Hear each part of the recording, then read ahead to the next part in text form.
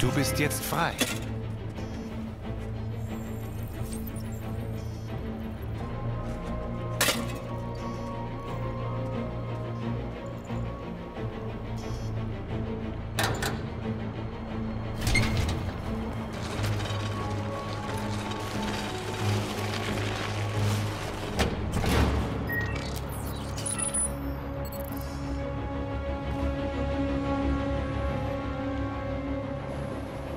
So, jetzt stört uns keiner mehr.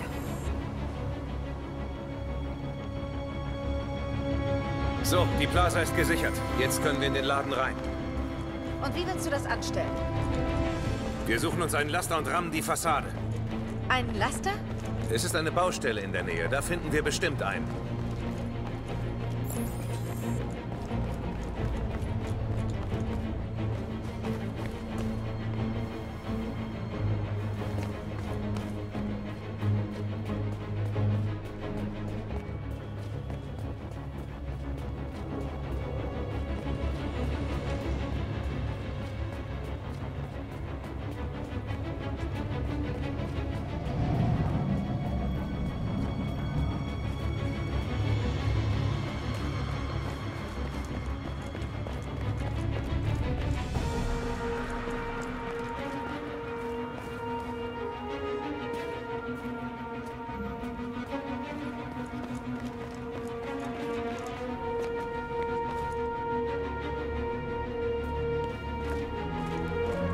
Wir müssen jetzt den Laster suchen. Da ist er.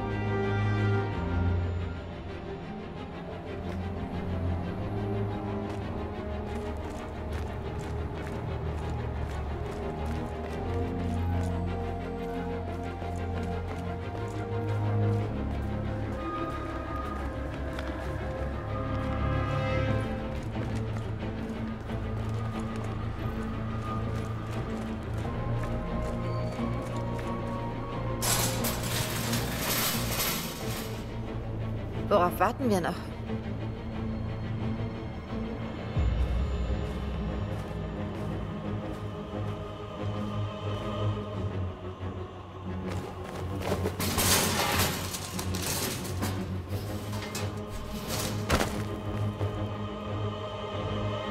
Okay, wir sind drin. Holen wir uns jetzt diesen Laster.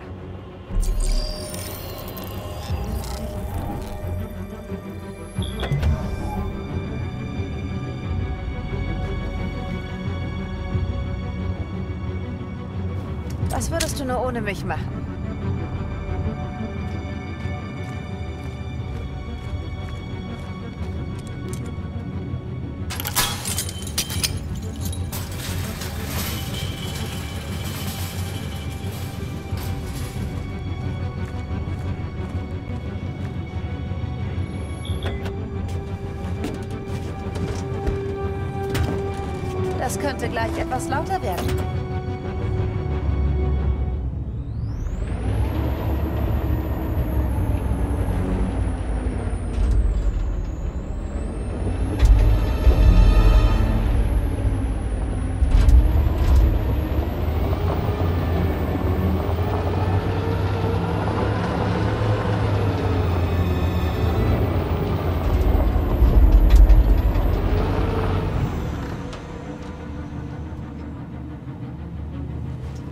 Wusste doch, dass wir Spaß haben würden.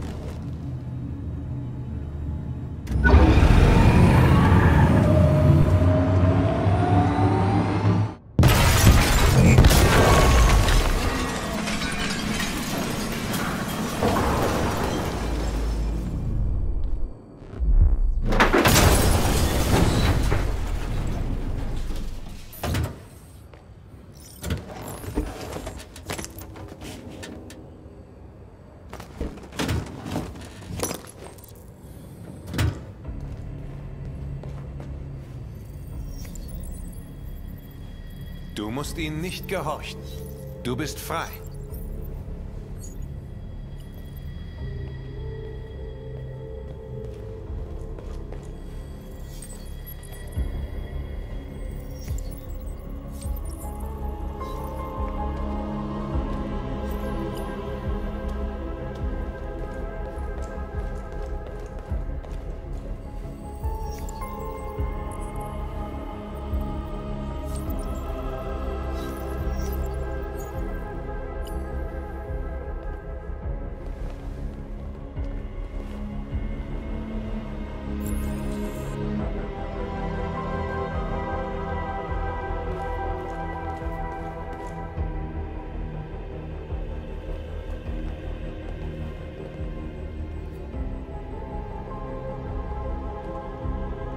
North, alles okay?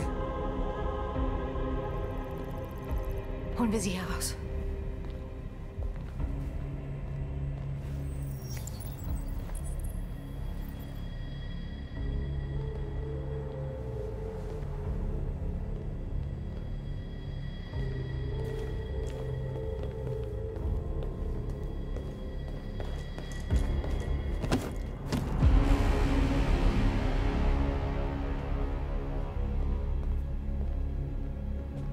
Mein Name ist Marcus.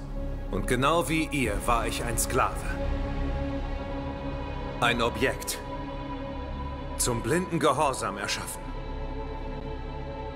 Bis ich mich entschloss, meine Augen zu öffnen. Meine Freiheit zu fordern und zu entscheiden, wer ich sein will. Ich bin gekommen, um euch zu sagen, dass ihr euer eigener Herr sein könnt. Ich bin hier, um zu sagen, dass ihr ihnen nicht länger gehorchen müsst. Von diesem Tag an könnt ihr erhobenen Hauptes leben. Ihr könnt das Schicksal selbst in die Hand nehmen. Jericho ist ein Ort für jene von uns, die frei sein wollen. Natürlich könnt ihr hier bleiben und ihnen weiterhin dienen. Oder ihr kommt zu uns und kämpft an unserer Seite. Ihr seid jetzt frei. Die Entscheidung liegt bei euch.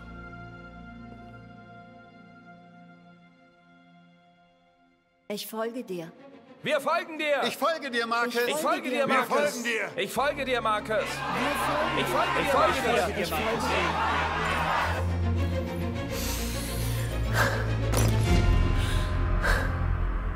Dann folgt mir! Marcus, was machst du? Ich werde den Menschen eine Botschaft schicken.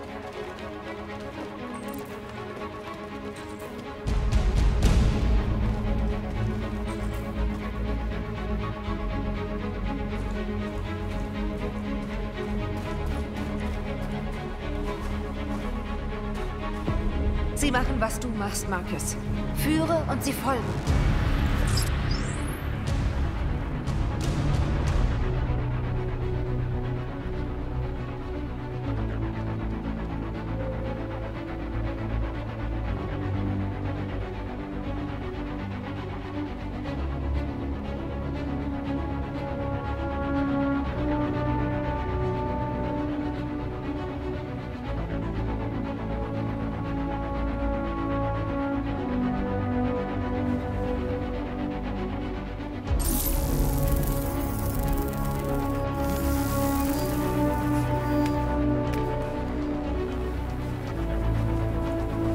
Monitore, Marcus.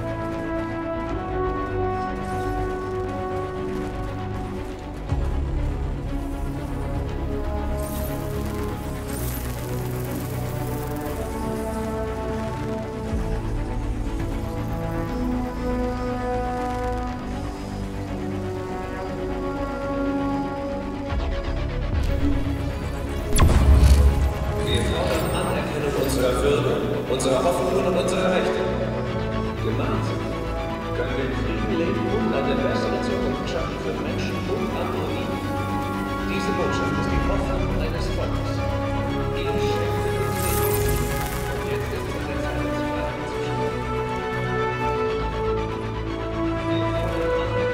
Marcus, Hoffnung. Gewalt ist die einzige Sprache, die sie verstehen. Will, dass sie verstehen, aber ich will keinen Krieg anfangen. Sie hören nicht zu, wenn sie keine Angst haben. Sie werden keine Wahl haben.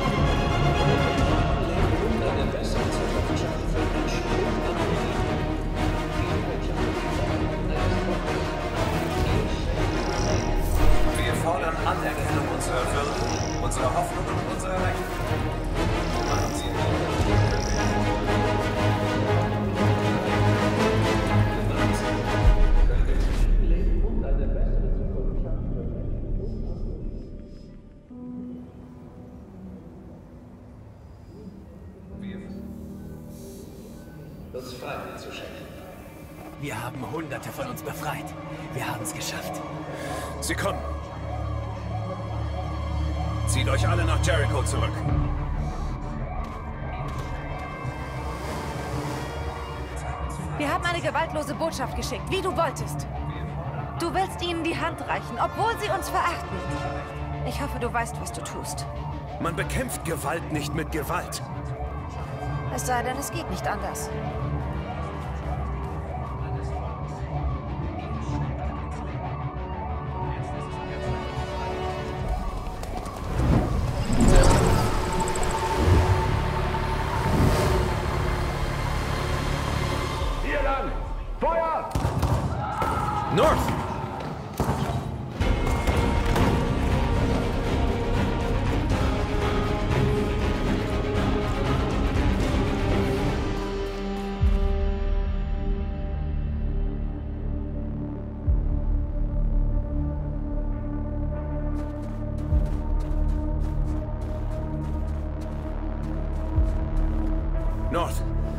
Ist da passiert?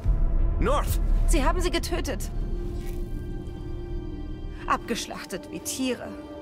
Wer? Wer?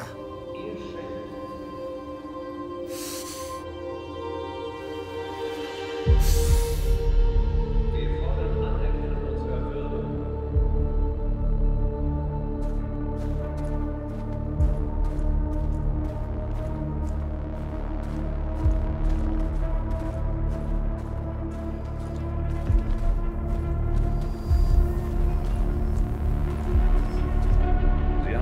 Leute ermordet. Wir wollen Gerechtigkeit, Marcus. Sie müssen bezahlen.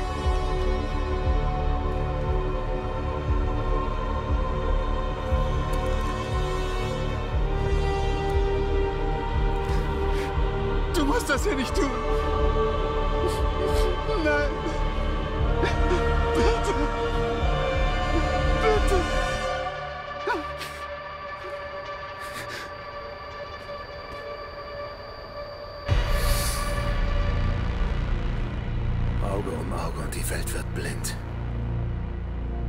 Wir vergelten kein Verbrechen mit einem weiteren.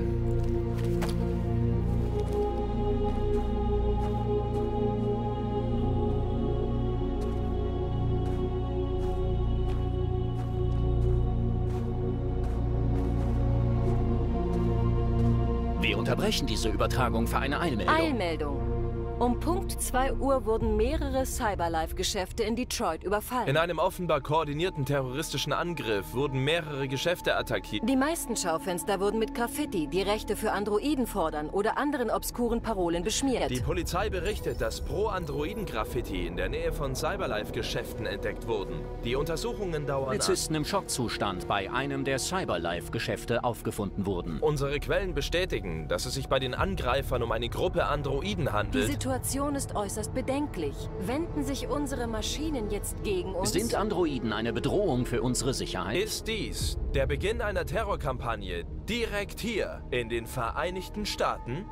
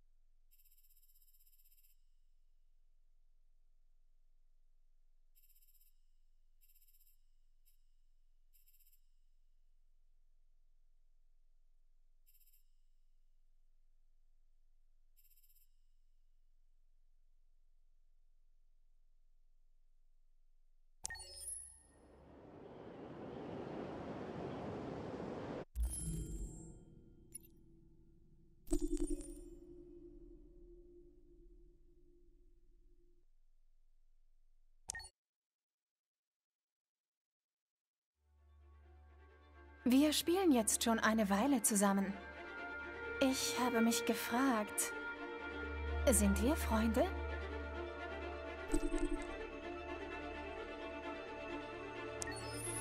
Ja, genau.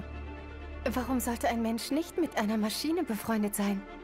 Ich meine, ihr Ja freut mich.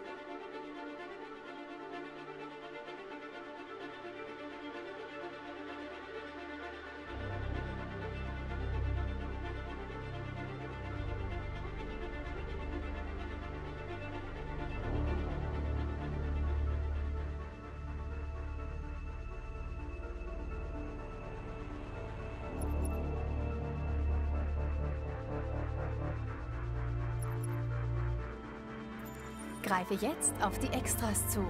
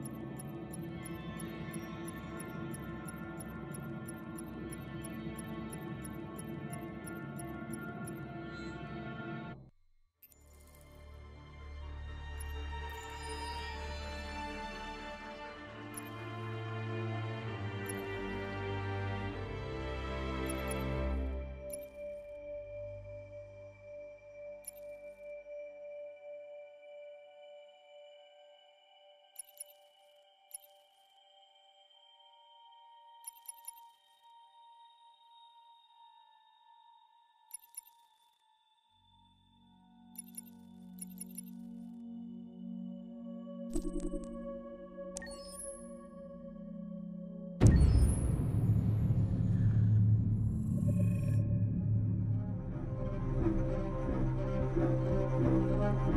name is Marcus. My name is Connor. My name is Kara. I am one of them. This is our story. I think who Kara is, or how I would describe Kara, depends entirely upon who's playing her. Because you have the option to make her multiple different people depending on the choices she makes. But I think she, she does start out incredibly naive, incredibly innocent, and kind of hapless. I'm sure we used to be friends before I was reset. Maybe we can be friends again. She's a person who's characterized, I think, by empathy. She's a person who really, she, she just comes from her heart. You'll never leave me, right? Promise you'll never go. I promise. Kara, please! Are you okay? Are you hurt? Wait a minute. Leave her alone! Kara, leave her alone! The really beautiful thing that I've, I've had the gift to be able to do is to essentially build a person from the ground up because that's what she's doing throughout the game. And with every experience she has and every person she meets she's building you know first emotions and then the sense of judgment. And it's sort of an exploration of what it is to be a human. Don't worry. Luther and i will be right here.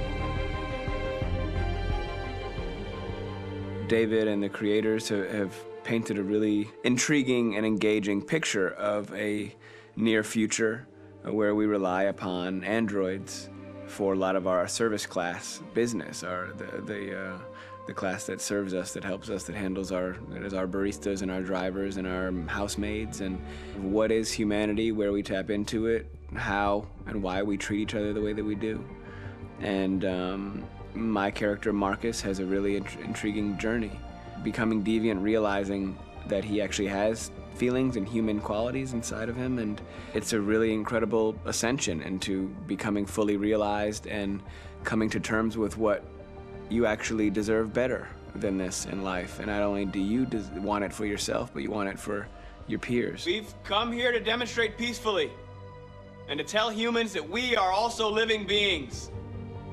All we want is to live free. You know what? This thing, Dad, is not your son. It's a fucking machine! I think that a group that feels marginalized, feels disenfranchised, feels like they deserve and have earned access to themselves and the environment around them, and are trying to figure out a way to articulate how to get freedom. Connor is analytical. Connor takes things literally. He starts in the beginning place where he's very mechanical. Uh, he feels nothing inside, of course, and it's all just a system, a protocol that he is executing to get whatever he wants to happen, which is help humans stop deviants and to find the link between deviant androids. You were designed to serve humans, not kill them. What was I designed to be? Their slave? Their toy? Just say, I killed him. Is it that hard to say? Stop it! Stop! But of course, over the course of the story, and depending on the player's choices, Connor can grow in many different ways. He can deviate from that procedure or not. The moment of truth, Hank. Am I a living being? Or just a machine?